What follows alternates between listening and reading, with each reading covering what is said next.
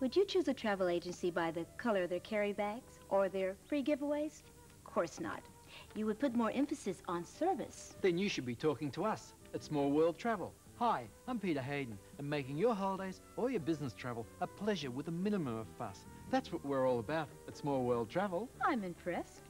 Small World Travel, 34 Albert Road, South Melbourne. Phone 699 5977. And they don't do a bad number in travel bags either.